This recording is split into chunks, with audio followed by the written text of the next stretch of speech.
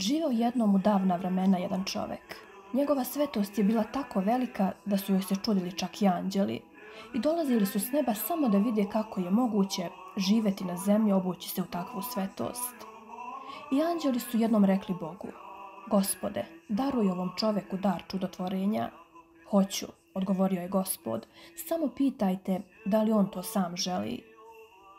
I anđeli upitaše sveca, da li želiš da daruješ zdravlje samo jednim dodirom ruke? Ne, odgovori svetac. Bolje je da gospod sam to čini. A da li želiš da imaš takav dar krasnorečivosti čijom silom bi obraćao grešnike na pokajanje? Ne, to je u Božjim rukama, a ne u rukama slabog čoveka.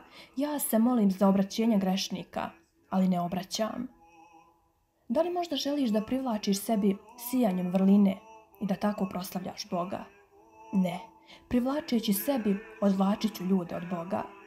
Pa šta želiš, upitaše anđeli? Šta još da želim? Da me gospod ne liši svoje milosti, a s njom ću imati sve. Ali anđeli su nastavili da insistiraju.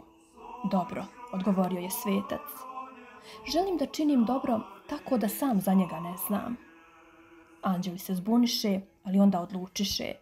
Neka senka ovog čoveka koji on ne vidi, isceljuje bolesnike, olakšava tuge i žalosti. Od tada je tako i bilo. Gde god bi se ovaj svetac pojavio, njegova senka je pokrivala zelenilom ugažene staze, vraćala je vodu potocima koji su presušili.